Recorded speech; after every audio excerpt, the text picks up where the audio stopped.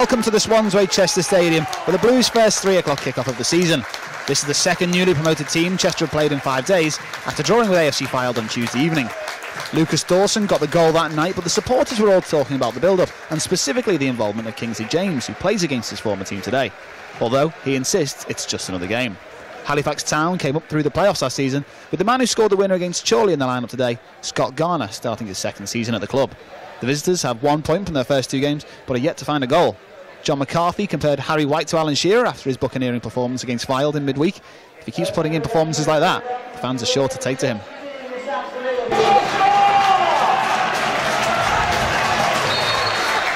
And it's the visitors, Halifax Town, who get us underway in the all yellow strip.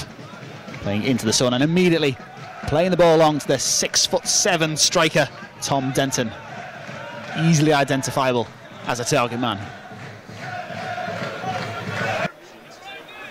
Anything can happen as Turnbull puts that towards the back post, towards Astles, up in the air as McComb helps on, and Hannah gets a poke at it, and Hannah claims it took a deflection as it fell kindly for the for the Chester centre forward, making his first start in his second spell at the club.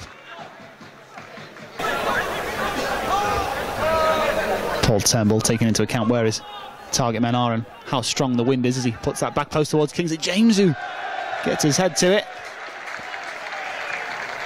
And it's the uh, Chester number four and the former Halifax man who got there, but he couldn't direct it towards the goal. How he would have loved to have scored there.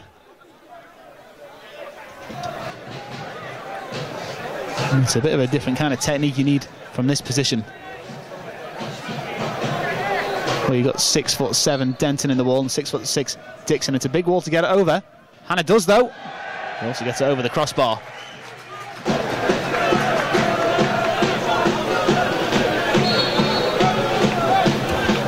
Another 45 minutes to find a goal in this fixture.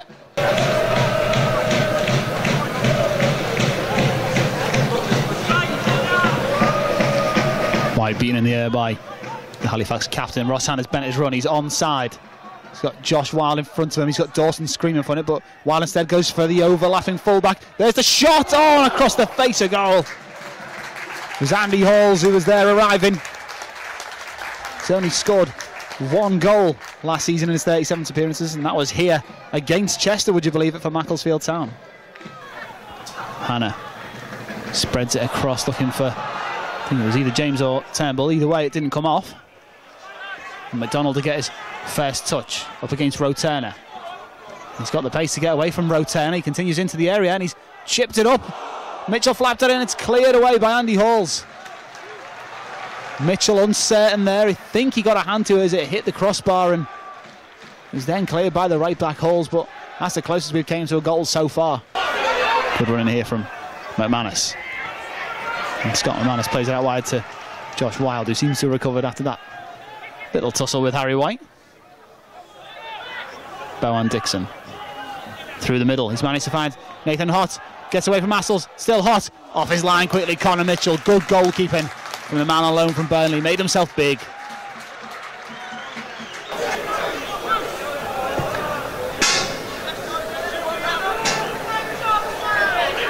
Garner beats Hannah to it. It's lofted over the top, looking for the runner back in Tunde, and the defender's made a meal of it. Akintunde, Ross Hannah, back to Akintunde. Oh, great save by Sam Johnson. High fives all around for the goalkeeper side from Port Vale, as that certainly would have won it for the Blues.